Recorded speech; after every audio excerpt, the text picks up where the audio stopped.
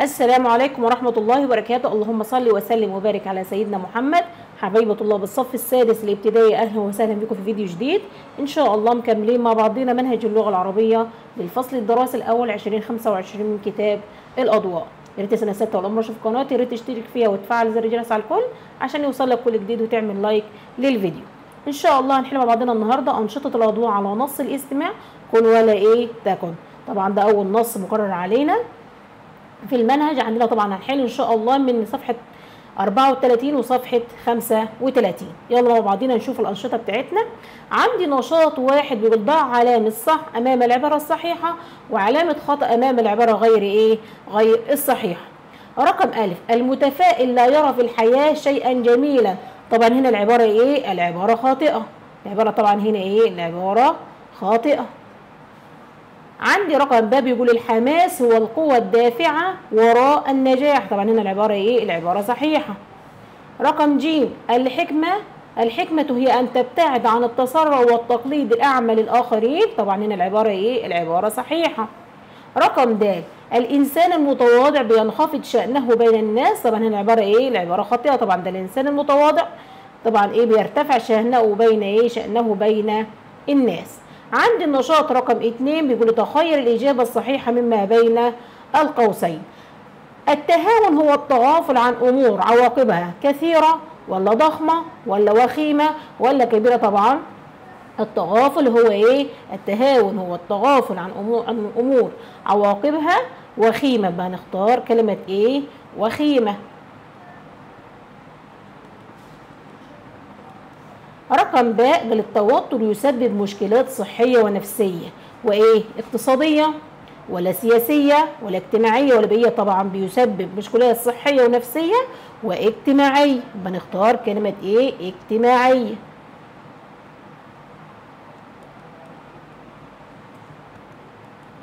رقم ج الإنسان الحكيم يتكلم بالكلام الفاسد ولا الغامض ولا السيء ولا الملائم. طبعا بيتكلم بالكلام إيه؟ الكلام الملائم. هي الكلام المناسب؟ رقم د ما خالط العناد شيئا إلا إيه؟ أفسده زينه أعلاه جمله طبعا إيه؟ ما خالط العناد شيئا إلا أفسده.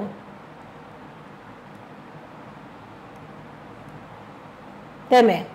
نشوف مع بعضنا النشاط رقم ثلاثة بيقول لي أكمل ما يأتي.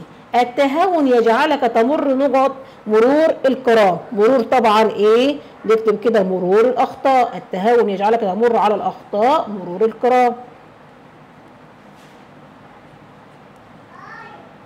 رقم باء اجعل حماستك لنقط طاقة متجددة. طبعا إيه؟ اجعل حماستك لتحقيق نكتب كده لتحقيق.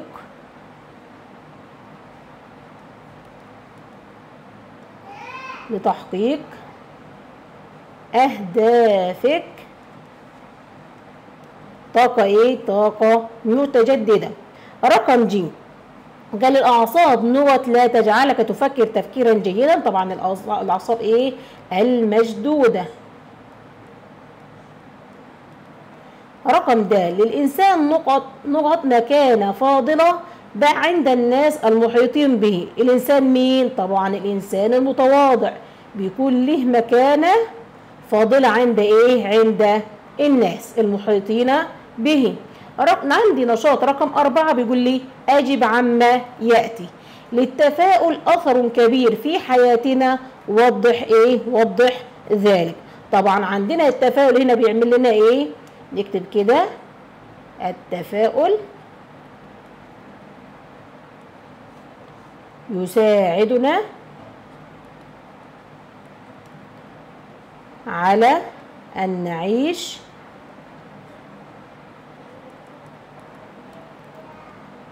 حياة تملأها المحبة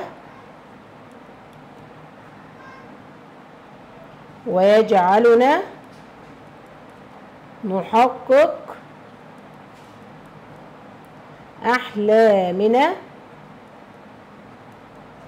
وآمالنا. تمام. رقم ب قال لي كيف يمكننا التخلص من التوتر؟ هنتخلص إزاي من التوتر؟ نكتب كده عن طريق ممارسة الرياضة عن عن طريق ممارسة الرياضة وتخصيص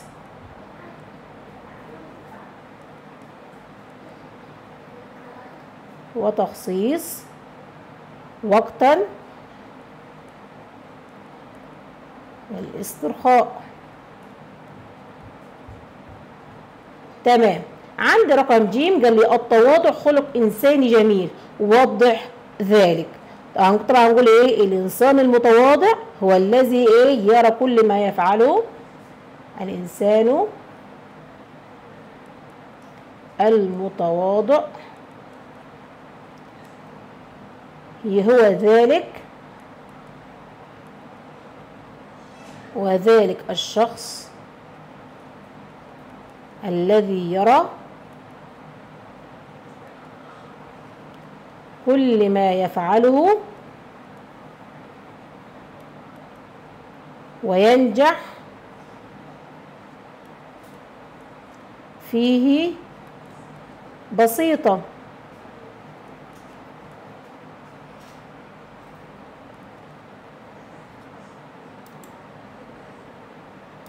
تمام؟ نكتب كده. ويمكن ويمكن أن يكون أن يكون هناك من هو أفضل منه. تمام؟ هو بإيه؟ بيكون ويمكن أن يكون هنا طبعا إيه؟ ومن هو أفضل منه إيه؟ مكانا. تمام؟ عندي رقم السؤال رقم د بيقول بما يشعر الإنسان الخاضع وإلى ما يسعى؟ الإنسان الخاضع ده سنة ستة بيشعر دائما طبعا إن هو إيه؟ يشعر نكتب كده. يشعر.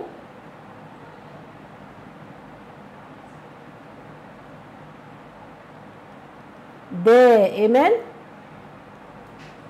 بأنه طبعا إيه؟ أقل قيمة. بأنه أقل قيمة. يشعر بأنه أقل قيمة من إيه؟ من الآخرين. يعني بيحس نفسه على طول إن هو أقل من إيه؟ من الناس اللي جا من الناس اللي معاه. تمام؟ طب هو بيسعى لإيه؟ طبعا بيسعى يسعى دائما لإرضاء يشعر دائما بأنه أقل قيمة من الآخرين وبيسعى يسعى دائما لإرضاء إيه؟ لإرضائهم. ويسعى دائما على لإرضائهم. نكتب كده على حساب إيه؟ على حساب نفسه. على حساب نفسه. تمام. عندي صفحة رقم 35 عندي النشاط رقم خمسة بيقول لنا إيه؟ استمع إلى الفقرة ثم إيه؟ ثم أجب. كن متفائلا فالمتفائل أكثر الناس سعادة فهو يرى الحياة جميلة بخلاف المتشائم الذي لا يرى شيئا في الحياة.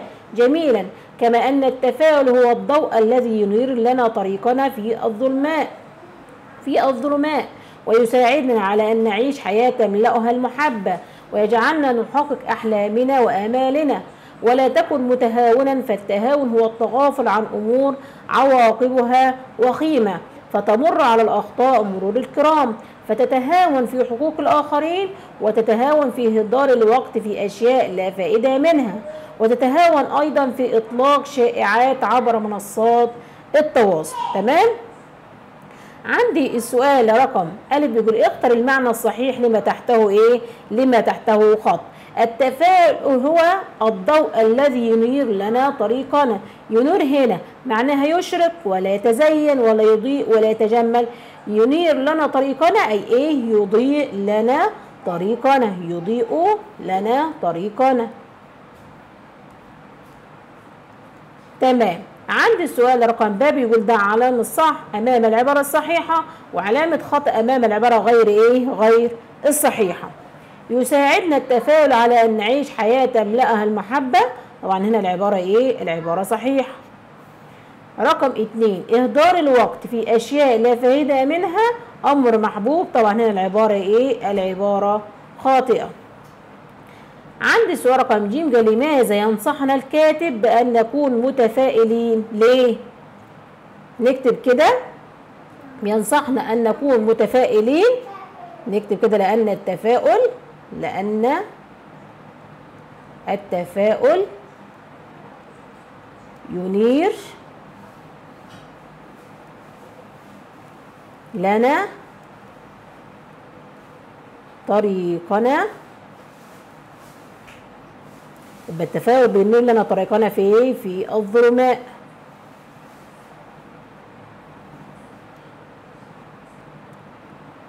ويساعدنا على أن نعيش على أن نعيش حياة تملأها المحبة ويجعلنا طبعا إيه؟ ويجعلنا نحقق آمالنا. آمالنا. وإيه؟ وأحلامنا. تمام. كما أن كمان المتفائل ده هو أكثر الناس سعادة فهو يرى الحياة إيه؟ الحياة جميلة. رقم د قال من خلال فهمك للفقرة هات أمثلة للتهاون. طبعا عندنا أمثلة كتيرة طبعا في الحياة عن التهاون. عندنا إيه؟ ممكن نقول مثلا إهدار الوقت. نكتب كده إهدار الوقت. ده أمثلة من أمثلة التهاون. عندي طبعا التهاون في حقوق الآخرين. التهاون في حقوق الآخرين. تمام. عندي السؤال رقم ها بيقول لي سبب بين سبب رسم الهمزة على ما رسمت عليه في الكلمات الآتية. عندي كلمة المتشائم والمتفائل والتفاؤل وكلمة إيه؟ تملأها إحنا بنعمل إيه يا سنة ستة؟ في الهمزة المتوسطة أو الهمزة المتطرفة. بنعمل حاجتين. أول حاجة بنبص لحركة الهمزة وحركة الحرف اللي قبليها. وبعدين بنكتب الهمزة دي على أقوى حركة. بنكتب الهمزة دي على أقوى إيه؟ حركة. بن- بنقارن بين الحركتين حركة الهمزة وحركة الحركة اللي هي الحرف اللي قبليها. أقوى حركة إحنا بنكتب الهمزة إيه؟ عليها. تمام؟ في حاجة اسمها إيه؟ مثلث الحركات. لازم نبقى حافظينه. عندي أقوى حركة طبعا اللي هي إيه؟ الكسر.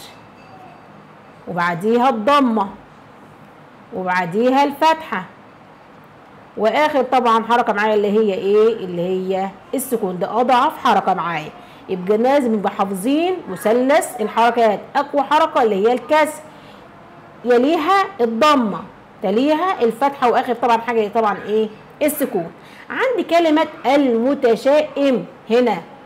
الهمزة مكسورة. وما قبلها مد تمام؟ المد ده طبعا يعتبر يا سنة ستة حرف إيه؟ حرف ساكن. طب هن هنقارن بين الكسرة وبين السكون. الأقوى الكسرة ولا السكون؟ طبعا ده الكسرة هي الأقوى أقوى حركة. عشان كده إحنا هنا رسمنا إيه؟ الهمزة على إيه؟ على نبرة. رسمنا الهمزة على إيه؟ على نبرة. عندي كلمة التفاؤل. عندي الهمزة هنا مضمومة. الهمزة مضمومة. وما قبلها؟ ما قبلها مات برضو.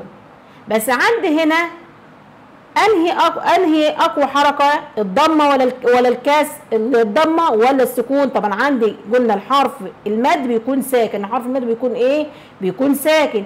عندي طبعا الضمة هنا أقوى من إيه؟ أقوى من السكون. عشان كده إحنا رسمنا الهمزة على إيه؟ الهمزة على واو. تمام؟ عندي كلمة تملأها. عندي الهمزة هنا مضمومة. الهمزة بأول حاجة ببص لحركة إيه؟ حركة الهمزة. الهمزة إيه؟ مضمومة. وما قبلها؟ وما قبلها؟ وما قبلها طبعا إيه؟ مفتوح. طب الأقوى الضم ولا الفتح؟ لا طبعا الضمة أقوى من إيه؟ الضمة أقوى من الفتحة. لذلك هنا رسمنا الايه الهمزه على واو. رسمنا الهمزه على إيه؟ واو. لأن الضمة بتمشي معاها إيه؟ بتمشي معاها الواو. عند النشاط رقم ستة بيقول استمع إلى الفقرة ثم إيه؟ ثم أجب. ولا تكن عنيدا فالعناد هو أن تصر على رأيك وتتشبث به وإن كان خطأ. ولا تحاول إعادة التفكير أو الاستماع لآراء الأخرى. وهذا يعرضك للهلاك فما خالط العناد شيئا إلا أفسده. ولا تكن خاضعا فالخضوع هو أن تشعر بأنك أقل قيمة من إيه؟ من الآخرين. ولذلك دائما ما تسعى لإرضائهم من أجل الإحساس بالهناء والسعادة. والثقة بالنفس فالخاضع يتنازل عن سعادته مقابل إرضاء؟ الآخرين. تمام عندي السؤال رقم ألف بيقول اختر المعنى الصحيح لما تحته إيه؟ لما تحته خط. الخاضع يتنازل عن سعادته.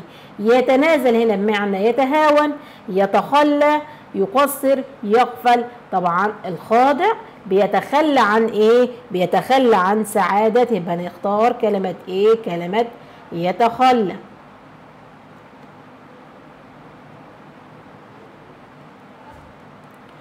السؤال اللي بعده أكمل ما يأتي.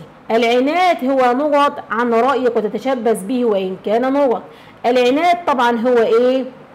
نكتب كده العناد هو أن تصر. أن تصر على رأيك وتتشبث به وإن كان إيه؟ طبعا وإن كان خطأ. هو إيه هذا تعريف إيه؟ تعريف العناد. رقم اتنين الخضوع هو ان تشعر بأنك طبعا أقل قيمة من إيه؟ من الآخرين. أقل قيمة من الآخرين. تمام.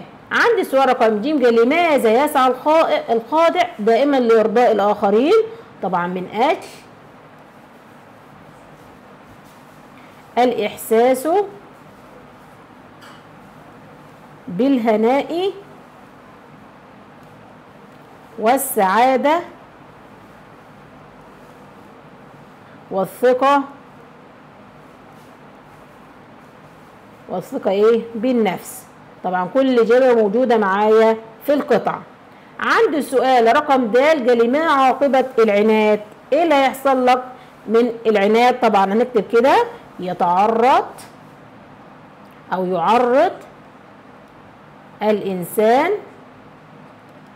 نفسه للهلاك. رقم هاجة اللي اختر الصواب. واحد نقط يثق الجميع به. طبعا عندنا إيه؟ قلنا ال عندما تكتب تكتب منفردة بترسم عليها إيه؟ الهمزة. لكن لما بتدخل الألف واللام على كلمة بنحذف إيه؟ بنحذف الهمزة. تمام؟ يبقى نختار كده الصادق. يثق إيه؟ يثق الجميع به. رقم اتنين الدولة نغت على رعاية ذوي الهمة. نقول إيه؟ تحرسوا تحرسوا طبعا هنا إيه؟ بالتاء وليست الطاء. تحرسوا تمام. وبكده سنة ستة وصلت معاكم لنهاية الفيديو. أتمنى تكونوا استفدتوا. يا ريت ما تنساش في اللايك والاشتراك في القناة وتفعيل زر الجرس على الكل عشان يوصل لكم كل جديد. والسلام عليكم ورحمة الله وبركاته.